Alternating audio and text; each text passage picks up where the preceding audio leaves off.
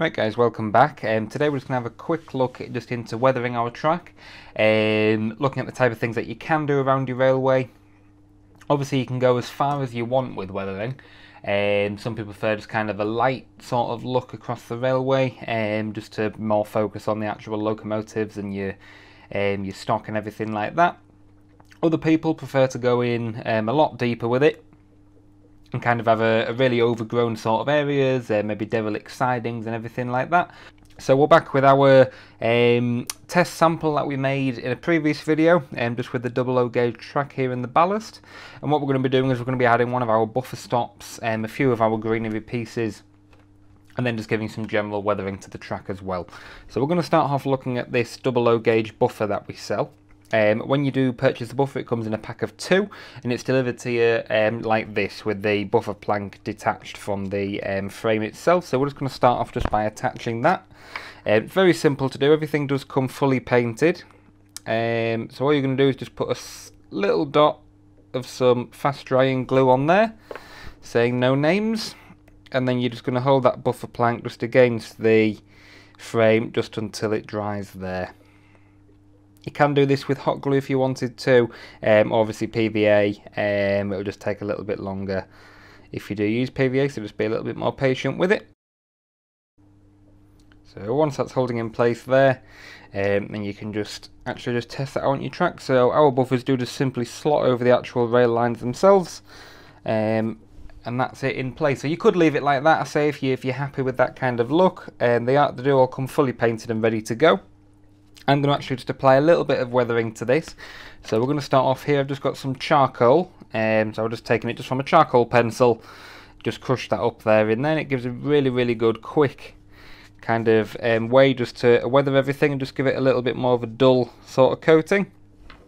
So we're just going to give it a flash just all over all the edges and you will actually kind of see that it does leave a little bit of residue just on the side of the um, buffer there as well. And it just really just dulls down that paintwork, just makes it look a little bit more realistic that it has been out for some time um, exposed to the elements. So we're just going to just put that into all of the little nooks and crannies of the buffer. Our buffers do come highly detailed as well. They've got all of the um, rivet studs in the edges of the steel.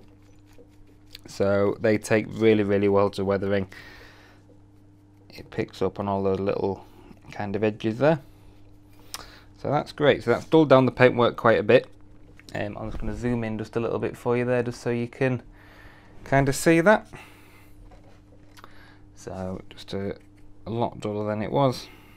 It's looking good, I'm happy with that. So, what I am going to do as well is we've just got a little bit of Vallejo paint here. Um, just zoom out a little bit for you. So we've got some Vallejo paint. Um, it's the rust coloured one. And what we're going to do is going to put a couple of drops just in this little dish that I've got here. This is all airbrush safe as well, so you can use it with airbrushes if you're doing larger sections or obviously you're painting models or anything like that. I'm just going to use it today just with my little brush. So I'm just going to put a few little dots just around kind of where the rivets are. And it does come out in quite a brown colour, um, but once it dries it goes into that, that rust coloured kind of texture as well. So just going to give just a light kind of brushing just around all of the areas where you would see rust, um, kind of where the steelwork meets and you've got that weld and everything.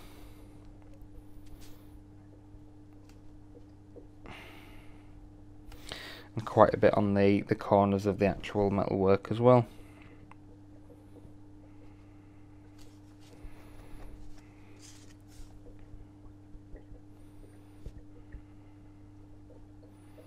And then just around the pistons of the buffer. That's great. So, what we're going to do before we put this on the track, um, we are just going to apply some rusters to the edge of the rail as well. So just taking exactly the same colour that we've got there um, and we're just going to just run that just down the side of the rail because I'm wanting this to look like it hasn't been used for quite a while. Hasn't been very well taken care of. and just making sure that you're missing all of those little ties that hold the rail in place. Um, now in terms of the top of the rail, again depending on how um, used you want your area to look, so I'm going to put the rust along the top of the rail line, I'm just actually just take my finger there and just rub it just back off just slightly.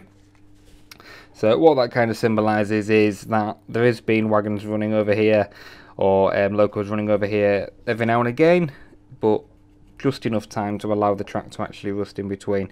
If you've got quite a, an area that you want to be heavily used but maybe hasn't been maintained too well, I would suggest maybe just rusting the edges of the rail um, because normally what you'll see is if there are um, vehicles travelling over the top of the rail lines it does tend to get rid of that rust and you still have the, the shiny steel visible.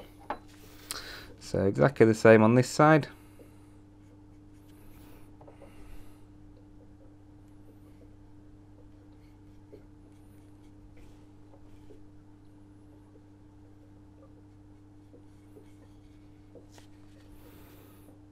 So you can use just a brush with this. Um, I'm using this little dabber here. You can fill this one up, which is really, really nice if you're doing quite a large area.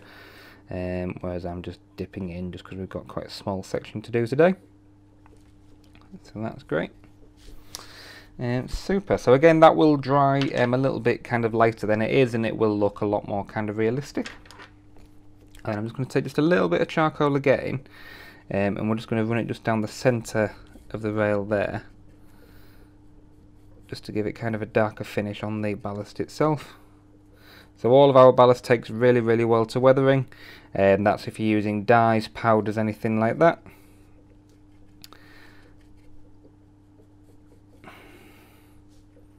So even though it does look subtle um, over a large kind of area that has a really really good effect just to say that the diesel has been kind of dripped down the centre perhaps um,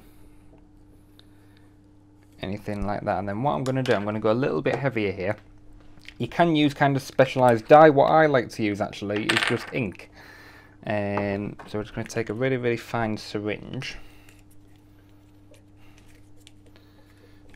And just pull up just a little bit of ink there. And then just very, very, very delicately, we're just going to run that just down the centre of the rail line. And what that's going to do is just dye the very centre with quite a, a dark black. Put that on there before I knock it over. Um, and then what you're going to do is just take a little bit of oh, isopropyl alcohol and um, just on the end of your brush. And I'm just going to just touch that on top of the rail line on top of the ties and what that's going to do is just clear out the ink that I've spilt a little bit too much of there. Super. So again obviously that's quite a, a dark way of doing it, it gives you quite a deep colour so that's super. And that will absorb in as well, it will dry a little bit lighter than it is. Um, brilliant. So we're just going to put this in place. Again, you can glue these down if you're wanting it to actually physically be a stopper um, for your for your trains and what have you. I'm just going to place that down there just nice and simply. And then what I'm going to do, I'm just going to take one of these little grass tufts that we sell. We sell these in a few different colours. Um, dip it in a little bit of PVA there. And I'm just going to just tuck that just down the side of the buffer itself and we'll put one a little bit just further back from that as well. So these are great because you can just kind of tear them apart, just make them whatever size you want. Dip them in and we'll put another one there as well. And obviously with it being PVA it will dry completely clear.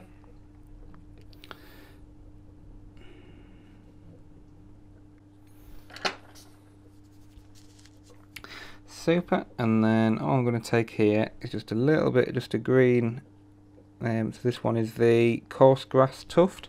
Um, not tuft, sorry, the coarse grass. Um, and we're just going to just put a little bit of that just down the edge of the rail line. Just again to show a little bit of growth just inside the ballast there.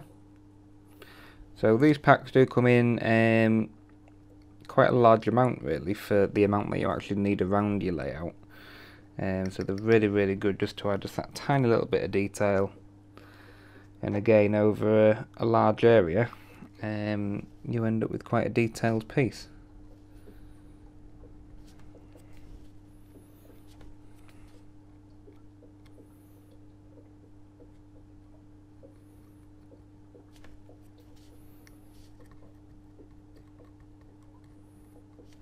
That's great. And then we're going to take a little bit of this as well. So this one is the mid-green hedge. Um, and we're just going to put just a little bit just over the top of there. Just check what that looks like before we stick it down. And again, just a little dab of PVA and just push that into place where you want it. It's all just about building it up, just doing little bits. You can change it if you want to, if you don't think it quite looks right. Um, and again, you can go in as heavy or as light as you want to with this. So we are going quite heavy with this today.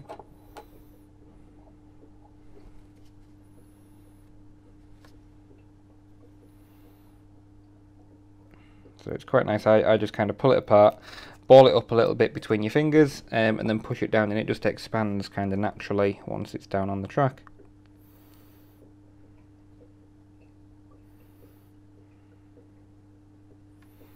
So that's great. So I'm just going to put a little bit more greenery just back here. Um, and then we're just going to take just a little bit more of this. Again, just balling it up, dipping it in the glue, and just kind of pushing it down there, just against the rail.